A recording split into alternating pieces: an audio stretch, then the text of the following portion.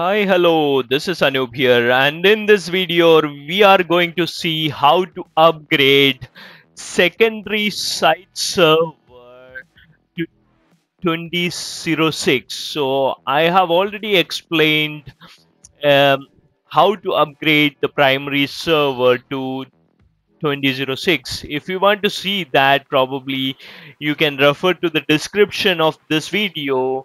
I will share the link over there as you have seen, I have already initiated the secondary server upgrade by right clicking on the secondary uh, site server and selecting upgrade option. Once you started the upgrade, initiated the upgrade from the primary server, you can see the status in the show install status button, right? If you click on show install status button in the ribbon menu of SCCM console you can see the step-by-step -step status right? And this next thing you need to look into is the config mgr file in the primary server. Now we are going to the secondary server and in the secondary server what you can see is you can open up the config mgr dot config mgr setup dot log right? So probably that won't be like there won't be any updates over there at the moment. Once the primary server processed all the updates all the prerequisites from there mm, right from primary server primary server will analyze the secondary server and check all the prerequisites are in place or not. Once that is in place then the source files will get automatically copied to the secondary server okay? So we will see that in a minute. So we, i'm checking the prerequisite log file again and check whether there is any update right?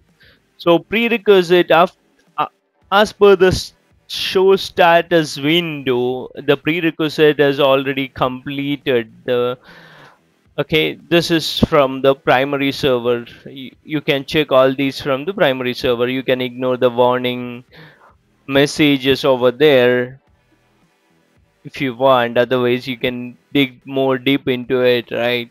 If you want to learn more about it you can you have all the descriptions available in the below window. Okay.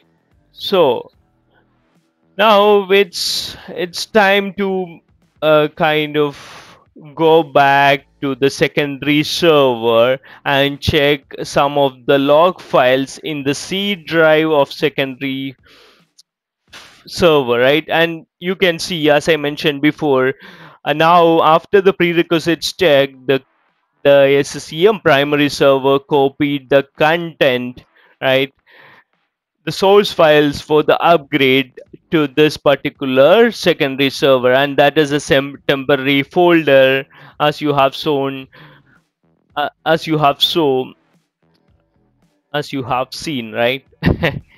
Okay. This is another interesting log file right? This is sms underscore bootstrap dot log file in this log file you can see how the copy of source files happened and which is that temporary folder where the source file is stored for the secondary server upgrade right? Okay and you can if you want you can check the status in the site component log file in the secondary server this will give you more details right? Now we are back to the primary server and let's check the status again okay? So it says transferring the copy uh, transferring the files. That is the last update we can see in the show updates right? Now if you go to the state of that but particular secondary server you would be able to say it states upgrade right? State is upgrade okay? Now you can see transferring config mgr files. So that is the last step we can see over here. And you can see what are the other things completed. Most of them are prerequisite file prerequisite status right after prerequisites completion as I mentioned it is going to copy the source files of this particular upgrade from primary server to the secondary server. Now let's go back to the secondary server and check the updates over there probably from the C drive right? There's not much happening over here. After the copying of source files.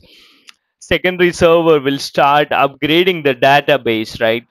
And once the database is upgraded then it will uninstall and install all the site server site system server related components right? And this is a setup log file which you can look into the secondary server right from the secondary server you can look into config mgr setup.log file and that will give you the exact details of installation right? And as you can see this installation got successfully completed right as per the log file. Now let's go back to the primary server and check the status right and as per the status the secondary server upgrade to 2006 got completed successfully. Now if you refresh you can see the site is active. And the site version is same as the primary server. Thank you for watching this video and uh, we'll see you later. Bye bye